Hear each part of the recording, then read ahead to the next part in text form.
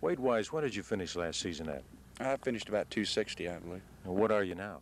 Well, I'm, I'm weighing in about 271, and I've only dropped about four or five pounds each practice, and I've been able to pick it back up. So I'd say about 271, 272. Which says a great deal for the weight program that you underwent. What made the difference this past uh, year? I mean, during the off season and the previous years, you worked some with weights at those times, didn't you? Well, I did. It was just um, the ma a matter of the program being put in right, and uh, the coaches went down and uh, they've explored a lot of uh, weightlifting programs, and they came back with a real good one, and uh, all the guys really have benefited from it. Well, of course, this is going to help you because you've always wanted that additional weight. You really haven't gotten as high as you wanted to get, would you? I wanted I wanted to get heavier last year, but uh, this year I'm I'm seem to be just right. I feel good. I'm uh, in good condition. I feel like so far. I think the weight's going to help me out a great deal in that defensive line. Haven't lost any of your quickness, have you?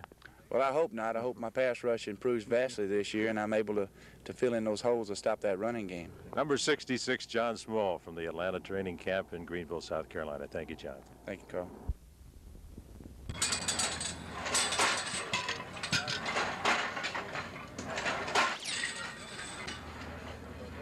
Yeah.